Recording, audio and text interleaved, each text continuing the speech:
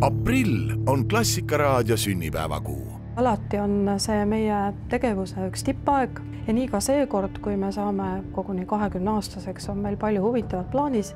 kõigepealt viis väikest, väga eksklusiivset liftikontserti meie väikeses fuajees, kus esinevad põnevad Eesti muusikud. siis meil tuleb sari kakskümmend lugu Klassikaraadiost kus me võtame läbi meie väikese ajaloo, et see on raadiokuulajatele kindlasti huvitav retrospektiiv. ilmumas on meie uus CD-plaat, mille nimi on Klassikaraadio tuleb külla ja kus mängivad noored interpreedid Eesti muusikat. ja muidugi on aprillis Jatskaare ülekanded, Eesti muusikapäevade vahendamine, nii et ma arvan, et te ei saa kõrva meie küljest lahti.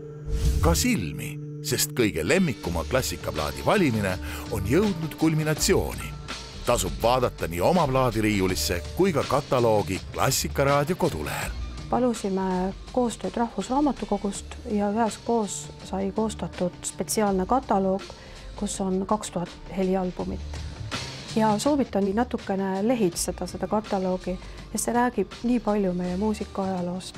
mis on veel huvitav, siin on päris palju välis-Eesti väljaandeid, et igal juhul on siin nagu palju vaatamist siis saab vaadata kümnendite viisi, millised plaate on tehtud ja ka seda, kuidas need plaadid välja näevad, sest plaat ei ole kunagi ainult üks helifail, vaid see on ka see ümbris, kunstiteos, kogu see komplekt, see on tegelikult natukene ka nagu raamat mm,. siin on üks kõige ilusama plaadikujundusega plaat. kui mõelda sellele, kui rikkalik ja pikk heliplaadi ajalugu meil üldse on, siis äh, sinna saja aasta vältel mahub paratamatult nii vinüülplaate kui ka palju muid plaate.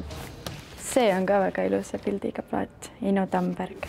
võib-olla mõni, kes nüüd Eesti klassikaplaadi otsingule on asunud, ongi just nagu ka mina ise lähenenud oma plaadiriiuli nendele külgedele, mis muidu võib-olla on seal tolmu alla mattunud ja võtnud välja just midagi ammu unustatud oh,. see on üks kihvt plaat Eesti muusika nõukogude ajal välisturistidele.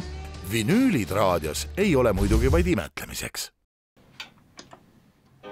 plaat esitleb ka Klassikaraadio uus sari Eesti klassikaplaat.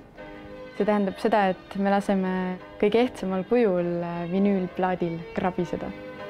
ma hiljuti vaatasin oma CD-sid, aga kummatigi ma olen palju rohkem kuulanud oma vinüüle kuna see heliline pilt äh, puudutab äh, mingit väga emotsionaalset mälu. mulle meeldivad äh, Eesti heliloojad ja mõned Arvo Pärdi ja Erkki Sven Tüüri plaadid, mida ma järelejätmatult imetlen. igaüks saab oma lemmiku sisestada kataloogi. klassikaplaadi valimine on imelihtne.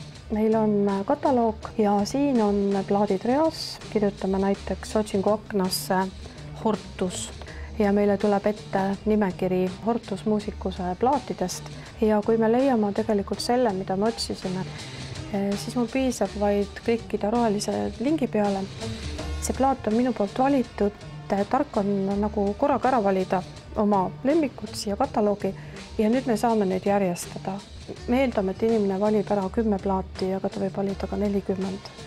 ja kui valik on valmis, saab seda ka Facebookis jagada, kommenteerida ja eesmärk ei ole võib-olla ainult välja selgitada mingi suur võitja, tegelikult me selgitame välja elamuslikke plaate, mis on paljudele inimestele läinud läbi aegade väga korda.